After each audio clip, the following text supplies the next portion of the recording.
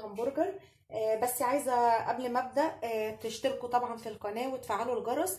آه، وطبعا لايك للفيديو لو عجبكم آه، عايزة برضو قبل ما أبدأ عايزة اشكركم كلكم أنا فعلا عملت فيديو اشكركم فيه بس ما اتكلمتش فيه فأنا عايزة بس أقول لكم آه، شكرا ليكم جدا جدا اللي بيتابعوا معايا القناة واللي بيشوفوا الأكلات بتاعتي. وناس كتير على فكرة قالوا لي الحمد لله إن في يعني كل حد بيقول لي على طريقة معينة جربها وعجبته. آه، فأنا بشكركم جدا جدا. لو لو كان في نجاح فالفضل لله طبعا ثم ليكم آه عايزة أقول لكم تاني إن طبعا دي أول خطوة ويعني خطوة صغيرة جدا جدا من اللي مطلوب مننا في اليوتيوب. آه لسه الشرط التاني الشرط التاني يعني صعب جدا جدا. آه بس إن شاء الله آه يعني بنستعين بالله وإن شاء الله نشتغل ونعمل كويس جدا علشان إن شاء الله نحقق الشرط التاني. طبعا القنوات اللي سامعيني دلوقتي عارفين إن الموضوع صعب قوي. آه بس طبعا آه يعني هنحاول إن شاء الله نعمل اللي علينا. وبعدين هبدأ بقى عشان ما أطولش عليكم. عايزة أبدأ معاكم بقى هعمل الهمبرجر إزاي؟ الهمبرجر بقى بالطريقة اللي أنا هعملها دي ده أفضل طريقة للهمبرجر يعني أنا جربت طبعا زي ما قلت لكم بجرب طرق كتير وأحسن حاجة بوصل لها هي اللي أنا بقدمها لكم. ده طبعا معانا كيلو وربع لحمة مفرومة وطبعا فيها يعني جزء دهون حوالي يعني 20% منه دهون علشان ده طبعا هيفيدني كتير في أعمال البرجر. ومعايا دول أربع بصلات مبشورين. عايزة أقول لكم إن ال ال ال الصويا اللي معايا ده ده معايا ربع كيلو صويا يعني 200 جرام مش ربع كيلو 200 جرام متاخد منه 50 جرام تقريبا فهو ده 200 جرام صويا ده 200 النص كيلو ليه 100 جرام صويا. يبقى الكيلو هيبقى ليه 200 جرام صويا. ده كيلو وربع هحط عليه برده 200 جرام صويا مش مفيش مشكلة خالص. أنا عندي بقى دلوقتي ممكن الصويا ده ممكن دلوقتي ابله أنقعه في مية هنقعه لمدة ربع ساعة وبعدين أصفيه وأعصره كويس جدا وأقلبه مع اللحمة هو والمكونات بتاعتي وارجع افرمه تاني. فانا دلوقتي عندي خيار تاني ان اللي أنا هعمله بقى أنا ما بحبش الحقيقة انقعه علشان أنا بيتبل وبيبل اللحمة وبيعمل لي مشاكل بالنسبة لي أنا. لكن أنا دلوقتي هطحنه في المطحنة بالظبط بالظبط زي هيبقى بودرة زي البقسماط. وهضيفه على اللحمة زي البقسماط ومش هفرم اللحمة تاني. اللحمة دي مفرومة خشن زي ما أنتم شايفين مش مفرومة وشين وش واحد بس. وهفرق وهحط دوت هطحنه دلوقتي في المطحنة وهوريه لكم هتلاقوا شكله بقى عامل زي البقسماط المطحون بالظبط. هقلبه طبعا على اللحمة مش هحتاج أفرم تاني زي ما قلت. البهارات بقى بتاعتنا اللي هي عندكم برده خيارين. إن أنتم ممكن تجيبوا البهارات البرجر جاهزة. في كيس كده بهارات الشركات بتعمله بأشكال كتير. وممكن إن أنتم تجيبوه أصلا سايب من عند العطار هو عارفه وبيعمله. وممكن إن أنتم تحطوا اللي أنا هحطه ده دلوقتي وهيبقى طعمه رائع جدا. هتحطوا ملح طبعا التمليح على حسب كمية اللحمة عندكم أنا على فكرة يا جماعة مش هقدر أقول لكم أي مقادير بالنسبة للتوابل. أنا أقول لكم اللي هحطه على الكيلو وربع وأنتوا على حسب يعني الحاجة اللي عندكم هتتصرفوا فيها على حسب المقدار يعني. فأنا دلوقتي حاطة معلقة ونص كبيرة ملح وحاطة معلقة معلقة صغيرة قرفة ومعلقة صغيرة فلفل أسمر ومعلقة صغيرة كمون ونص معلقة صغيرة كزبرة ناشفة وحاطة بهارات لحمة معلقة صغيرة ومعلقة صغيرة توم powder وهتحطوا كمان حبهان مطحون. كده علشان يبقى عندنا التوابل اللي إحنا عايزينها للبرجر هيطلع طعمه رائع جدا. جربوه هت... هتلاقوه كويس جدا. هنحط بقى على اللحمة كاتشب. ده هنحط أربع معالق كاتشب على الكيلو وربع لحمة. أنا المفروض بحط على النص كيلو معلقة واحدة كاتشب. أنا هحط قصدي معلقتين كاتشب. أنا هحط أربع معالق كاتشب على الكيلو لحمة أو الكيلو وربع. تمام؟ دي المقادير بتاعتي. أنا مطلوب مني دلوقتي إن أنا هروح أطحن الصويا وأرجع لكم تاني عشان نشوف هنعمل إيه. زي ما أنتم شايفين طحنا اللي هو الصويا مع بعض. بصوا يا جماعة بيبقى عامل إزاي؟ عامل زي البقسماط المطحون كده هيساعدني ان أنا ما احبش ما افرمش اللحمة في البيت. أنا مش بحب افرمها تاني. في المفرمة بت... بتاخد معايا وقت وأنا بحب كده. أنا بحب ان أنا أنا جايبة الطبق الكبير ده بقى عشان إيه؟ أحط فيه الطل... المقادير بتاعتي كده براحتي عشان اتحرك براحتي معاكم واوريكم هنعمل إيه بالظبط. هشيل كده البهارات دي بعيد برضو على ما إيه؟ نعمل كده مع بعض.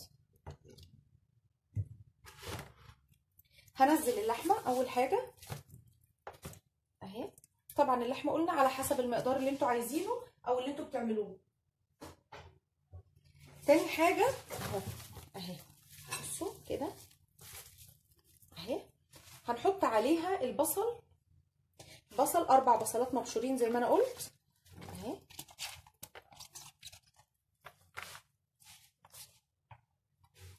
وهحط عليها اللي هو ال- ال- الفول الصويا اللي إحنا طحناه. المقدار ده مناسب جدا 200 جرام مناسبين جدا للكيلو وربع. وبعدين هحط التوابل بتاعتي كلها وطبعا يستحسن إن أنتوا آه، تظبطوا مقاديركم على حسب كمية اللحمة اللي أنتوا حاطينها عشان ما يطلعش معاكم دلع أو مش واضح المقادير ما تكونش واضحة فيه. هنقلب بقى مع بعض كويس جدا جدا علشان أنا عايزة المكونات دي تكون متجانسة خالص خالص. عايزاها عجينة لحمة كده تظهر إن هي عجينة لحمة بس. ليه؟ عشان لما أجي أقليها ما تفكش مني ولا حاجة. أنا بقى هقعد أقلبها كده وأظبطها. قبل بس ما اسيبكم عايزة أقول لكم أحط إيه المكون الأخير عشان أقلبها براحتي. الكاتشب هحط عليها أربع معالق كاتشب زي ما أنا قلت فإحنا هن بسم الله الرحمن الرحيم.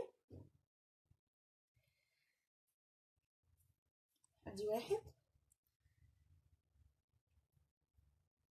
اتنين على فكرة لو مش عايزين تحطوه مش تحطوه بس هو فعلا طعمه بيدي طعم مختلف للبرجر. أكيد يعني حاولوا تحطوه في المقادير بتاعتكم هتتبسطوا منها جدا. أهو أنا بقى هروح أقلب المقادير دي كلها مع بعضها وهرجع لكم تاني. دلوقتي عايزة أقول لكم أنا جهزت المكونات بتاعتنا اهيت مع بعضها. عايزة بس أقول لكم للأمانة إن أنا ضفت معلقتين دهنة متسيحة من اللي عندي اللي أنا بطبخ بيها على المقدار ده لأن بعد ما نضيف آه، فول الصويا هينشف المقدار بتاعنا ولما أجي أسويه أحس إن هو مش دهونه مش عالية والبرجر لازم دهونه تكون عالية. دلوقتي خلاص خلصنا مع بعض أهو هنبدأ بقى مع بعض نقطعه. آه، بصوا عشان أنا ما عنديش القطاعة الخاصة بال بال بالبرجر أنا بجيب غطا عادي بتاع بطرمان عادي أهو وأحط فيه كده كيس تلاجة زي ما أنتم شايفين. بصوا أهي كده. وبعدين هروح بقى واخدة المقدار بتاعي مثلا أنا عايزة الواحدة كده أخدها الأول بإيدي أعملها كده إيه أجهزها كده تبقى آه، ناعمة مع بعضها كده. كورة كده حلوة وبعدين أروح جاية حطاها في الغطا بتاعي زي ما أنتم شايفين. وطبعا على قد حجم الغطا بتاعكم اعملوا ولو عايزين أصغر من كده اعملوا ولو إيه زي ما تحبوا. إحنا على فكرة الفول الصويا ده إحنا بنحطه علشان عايز مش عشان نكتر الكمية يا جماعة ده إحنا بنحطه عشان هو طعمه حلو جدا. ومن أساسيات ال- البرجر اللي بيتباع في المحلات أو اللي هو الجاهز يعني أو بتاع المطاعم إن هو بيكون فيه الصويا. بس الحقيقة هو بره بيبقى يعني زي ما يكون عاملينه بصويا خالص. لكن إحنا هنا طبعا اللحمة بتاعتنا معانا. إحنا بنضيفها عشان ناخد الطعم اللي إحنا حابينه. بصوا أهو. بتتخلع في ساعتها مش محتاجة أي حاجة. هجيب بقى أنا أنا جايبة صينية كده عليها. برضو ورق آه، اللي هو الأكياس التلاجة المتقطعة دي اهي هحطها كده علشان بس آه، يدنوا معايا على بال ما أكمل التقطيع. وبعدين هجيبه قدامكم كده عشان نبقى إيه بنعمل مع بعض خطوة خطوة. أهو. بعد كده أجيب كده هجيب الكرة بقى التانية. أهي.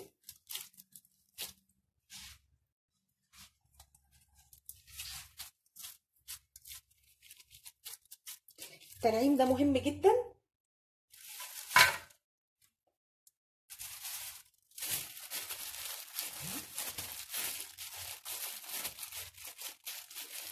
على فكرة أنا يعني قلت لكم إن شاء الله هعمل معاكم حلقات كده آه، أفكركم بحاجات حلوة ممكن تعملوها في العيد.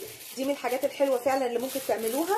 الولاد بيحبوه جدا جدا. الولاد والكبار على فكرة آه، ده من الأكلات اللي إحنا دايما بنحبها ودايما الناس تبص إن هي تجيبها جاهزة في حين إن هي وهي جاهزة إحنا مش عارفين مكوناتها إيه بالظبط. اللي بيغلب عليها طبعا البهارات العالية والحاجات دي لكن مكوناتها الأساسية مش متأكدين طبعا آه، اللحمة فيها عاملة إيه. فإحنا بنجيب اللحمة الطازة اللي إحنا عارفينها النظيفة الكويسة وبعدين نعمل إحنا اللي إحنا عايزينه. الطريقة دي نفذوها وعن تجربة وعلى ضمانتي. إن شاء الله تطلع معاكم حلوة جدا. عشان تعملوا إن شاء الله في العيد برجر للولاد. آه، يفطروا بيه أو يتعشوا بيه. يعني من ضمن الحاجات اللي إحنا إن شاء الله هنعملها في العيد. فأنا بعرفها لكم أهيت عشان تبقى إيه المكونات جاهزة معاكم. مفيش أسهل من كده إن هو يتحط على كيس التلاجة في قلب ال- الغطا هيطلع مظبوط 100% هعمل معاكم واحدة أخيرة وبعدين هقفل بقى وأجهز أنا باقي الكمية بتاعتي. بس عايزة أقول لكم إن أنا بعد ما أعمله هحطه في الفريزر نص ساعة بالظبط يجمد شوية. بس طبعا مش هحطه متعرض كده لازم عشان ما يعمليش ريحة التوابل في الفريزر وعلشان آه، ما يجيش عليه أي حاجة من ال- المية أو أي حاجة من دي.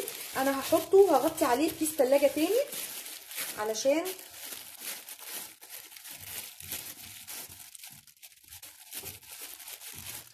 يعني أحافظ عليه من التعرض للفريزر أهو يا جماعة أهو. عايزة بس أظبطها معاكم شوية بس عشان أنا حسيت إن الأطراف مش متظبطة عشان عايزة أقفل بقى ما اطولش عليكم أهو. كل ما تساووا الأحرف ديت في جوه الغطا بيطلع معاكم في ساعتها. أهو. بس كده. أنا بقى كده هكمل الكمية بتاعتي وبعدين هنحطها في الفريزر وهرجع معاكم عشان أقول لكم هنعملها إزاي. دلوقتي بقى يا جماعة ال ال البرجر قعد في الفريزر شوية صغيرين حوالي ربع ساعة وأنا دلوقتي جبت الطاسة دي أنا دهنتها بس بالزيت مش عايزين زيت عميق نهائي ولا عايزين أي زيت أصلا غير المسحة التحتانية بس هنطلعه بقى من الورق كده هيبقى سهل جدا بصوا لأنه اتحط شوية في الفريزر سهل خالص أهو بس استنى الزيت يسخن شوية مهم جدا يكون الزيت سخن وبعدين أنا هحطه طبعا أقلبه على الناحيتين عادي خالص مجرد التحمير العادي أول ما يتحمر طبعا هنشيله وهوريكم هنبقى شكله عامل إزاي. هنحاول كده بسم الله الرحمن الرحيم. هنحط كده بسم الله الرحمن الرحيم. أهو. طبعا الزيت سخن بس طبعا أنا قلت لكم هو طبقة خفيفة مش عميق. بصوا الملاحظة بقى إن المقدار اللي إحنا عملناه ده هنعرف بعد القلي نفسه هو كش ولا لأ؟ الحاجة اللي عايزه أعرفها لكم إن الدهون اللي فيه والصويا اللي فيه بتمنع إنه يكش. بتخليه دايما محتفظ بالقوام بتاعه. الريحة جاية عليا مش عارفة أقول لكم يعني شوفوا لسه ما استواش وأول ما حطيته في الطاسة الريحة روعة روعة فعلا. جربوه إن شاء الله هيعجبكم جدا. أنا بس معاكم هنعمل الطبقة الأولانية ديت علشان إيه عارفين هنعمله إزاي. وبعد كده ه... هعمله أنا لوحدي أكمل كل الكمية لأن طبعا زي ما أنتم عارفين كيلو وربع مع ربع صويا أو 200 جرام عاملين كمية كبيرة. فأنا طبعا عملته على صواني زي كده. كل صينية حطيت عليها المجموعة بتاعتها لغاية ما اتملت وحطاهم طبعا في الفريزر. كانت كل صينية على طول. أول ما تخلص أحط غيرها علشان يعني اللي خلصه أحطه بحيث إن أنا أبدأ أقلي معاكم على طول ما اتاخرش وفي نفس الوقت الثانية بتجمد دلوقتي في الثلاجه هناخدها واحدة ورا الثانية برده زي ما إحنا قلنا كده. ما تستعجلوش عليه عشان طبعا دي لحمة نية وإحنا لا سلقينها ولا عملناها على البخار. أنا عايزة أقول لكم إن أنا كنت زمان يعني ده اقتراح برده ليكم بس برده الطعم الأقوى هيبقى هو ده. كنت زمان بعمل البرجر ده وبعدين أحطه على مصفى وأحط حلة تحتيه فيها مية ويطلع البخار عليه يسويه الأول. بيبقى مستوي الأول. بعد كده أعمل له بقى التحمير اللي أنتوا شايفينه على الزيت اللي هو الخفيف ده. بس بصراحة التحمير المباشر طبعا شيء طبيعي. التحمير المباشر أو القلي المباشر أو الشوي المباشر بيدي طعم أحلى بكتير من إن أنا أسلقه الأول أو أسويه الأول. طبعا ده بيدي طعم وده طعم تاني خالص هقفل معاكم على بال ما ما يتحمر علشان إيه ما ما اطولش عليكم وهرجع لكم تاني. دلوقتي بقى نشوف البرجر بتاعنا مع بعض. بسم الله الرحمن الرحيم. اهو زي ما أنتم شايفين اللون اللون خد لون اللي هو التحمير اللي أنتم شايفينه ده. بس يعني ما تفكروش هي الكاميرا دايما تغمق أكتر من العادي. فانتوا يعني هو كده يا دوب علشان يبقى مستوي ما ينفعش تطلعه بدري عن كده. هنحاول في الرصه اللي بعدها نقلل شوية. دي كده أول حاجة. بجد بجد ريحته اقسم بالله زي اللي كنا بنجيبه زمان من المحلات. و... وقبل ما نعرف طبعا الطرق بتاعتنا اللي إحنا بنمشي بيها دلوقتي كان بتبقى الريحة دي كانت تعجبني قوي ونروح مخصوص بره عشان ناكلها. لا إحنا بنعملها دلوقتي في البيت بطعم أحلى وبلحمة أحلى وبطريقة إحنا متأكدين منها.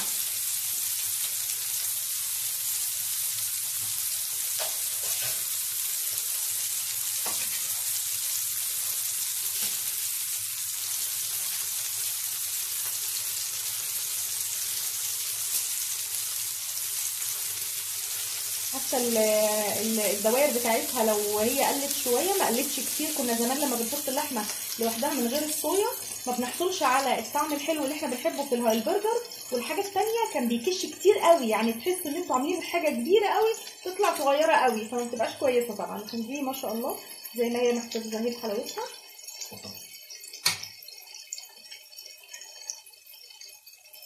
عايزة أقول لكم إن أنا عندي الشوايه اللي على البوتاجاز دي اللي عنده شواية ممكن يعمل على الشواية بس أنا ب... ب... يعني بستظرف أكتر الطريقة دي لسبب واحد إن أنا وأنا بعملها في الطاسة ببقى دايما حاطة الزيت فيها فبتتشرب من الزيت فبتبقى كويسة لكن لكن لما بعملها على الشواية طبعا بتتشوي فبتبقى شوية طلع منها الدهون مش مش زادت فيها والبرجر يستحسن يزيد فيه الدهون مش يقل. نشوف بقى مع بعض كده إيه الأخبار. لسه شوية يعني بصوا الشكل ده كده يعجبكم. تحس إن هو شوية مش إيه مش مش مستوي قوي بس لأ أنا عايزاه يزيد شوية عشان أبقى مطمنة إن هو استوى من النص.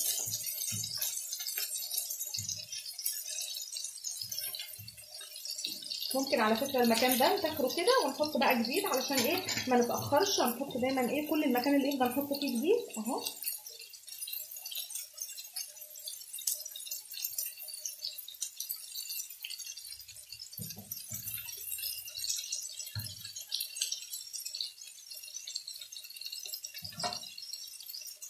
على فكرة آه الكفتة والحاجات دي آه كلها لحمة مفرومة بس كل حاجة بنعملها ليها طعم مختلف. آه دي ليها بهارات وتوابل ودي ليها بهارات وتوابل ودي ليها طريقة تسوية ودي ليها طريقة تسوية. فغيروا ونوعوا كده وفرحوا الولاد في العيد يعملوا لهم الحاجات الحلوة دي علشان إيه يبقوا دايما إيه مبسوطين إن شاء الله. خلاص كده أنا هشيل بقى كده.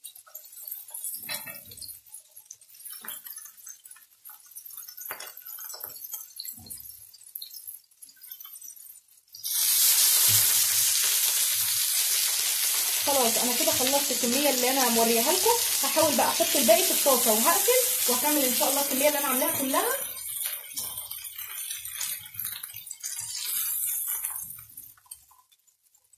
أهو هنحط الباقي مع بعض في الطاسة وبعدين هسيبكم بقى إن شاء الله وأرجع أوريكم الشكل النهائي بتاعنا عامل إيه.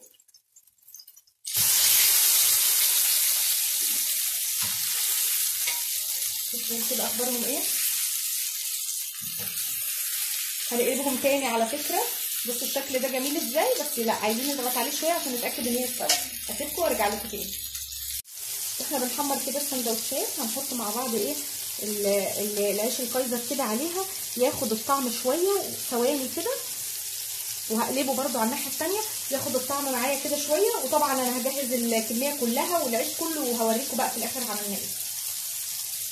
كده خلصنا الكمية بتاعتنا بتاعت البرجر. آه عايزة أوريكم ده كده ده مش محروق يا جماعة. حد يفكر إن ده محروق؟ ده مش محروق. ده بصوا يا دوب علشان اللحمة تستوي يا دوب بياخد الناحية دي والناحية الثانية زي ما شفتوا هو لازم يتعمل كده لأن فيه بصل وفيه توابل وفيه حاجات. أنا عايزة بس أعمل معاكم كده آه سندوتشين اللي قدامكم عايزة أقول لكم بصوا اتحمر إزاي. مطرح ما أنا حطيته على البرجر وهو بي بيستوي. أهو بسم الله الرحمن الرحيم. هنحط واحدة كده هنحط عليها معلقة طحينة كده. وبعدين هنحط شريحة طماطم أهي كده. في بقى حرية الاختيار اللي عايز بصل اللي عايز أي حاجة تانية هنديها له. بس أنا دلوقتي هعمل معاكم بس كده إيه رغيفين عشان أوريكم أهو. متحمر أهو زي ما قلنا. آه عشان أوريكم بس هنعمل إزاي. أهو بسم الله الرحمن الرحيم. والطحينة. وبعدين شريحه طماطم ده كده الأساس. في بقى عايز يزود جبنة ماشي عايز يزود بصل ماشي زي ما أنتوا عايزين. المهم إن أنا بديكم الأفكار وكل واحد يعمل طبعا بالطريقة اللي تعجبه. بسم الله الرحمن الرحيم. وشريحة الطماطم. طبعا بقى اللي عاوز يكمل يكمل زي ما هو عايز. إحنا دلوقتي هوريكم دلوقتي السندوتشات والحاجات اللي إحنا عملناها. هنشيل الطحينة كده. أهي نشيل المعلقة. وبعدين هنجيب الطبق نظهره لكم كده عشان تشوفوا البرجر اللي إحنا عملناه. وآدي المكرونة. عملناها طبعا مكرونة إسباجيتي بالصلصة. وعندنا طبعا طبق اللي هو العيش اللي, اللي عايز العيش الكايزر كمان اللي عايز.